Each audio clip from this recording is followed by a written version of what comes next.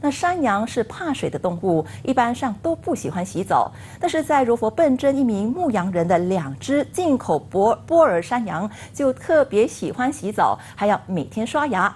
马上带你去看看这两只原产于南非的山羊。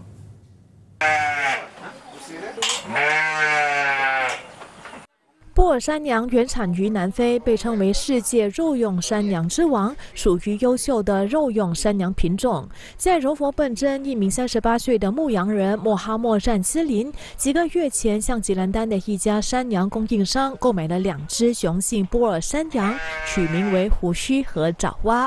和其他山羊不一样的是，胡须和爪哇不怕水，特爱洗澡。莫哈默占兹林帮他们洗澡时，他们乖乖的，非常享受。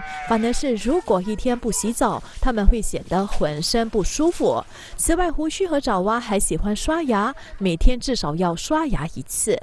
Reaksi pada kambing akan rasa tak selesa dan lagi satu sebab keadaan bulu dia warna putih. Bila dia tak mandi, rasa macam kambing tu terlalu kotor. Kita pun nampak kambing kita cergas, sehat pun kita nak rasa macam seronok ah. 为了满足穆斯林在哈芝节的需求，除了胡须和爪哇，穆哈默占斯林还饲养了大约二十只本地品种的山羊，交配品种山羊和绵羊。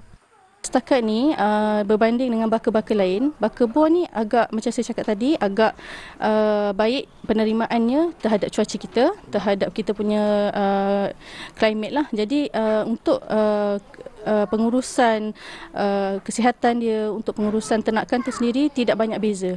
Tidak banyak beza dan tidak memberi banyak masalah lah kepada peternak kita di Malaysia khususnya. So uh, memang agak bersesuaian dan agak compatible lah dengan kita punya cuaca. 莫哈默占斯林对波尔山羊照顾有加，因为波尔山羊经常需要参加全国各地的山羊展览和比赛。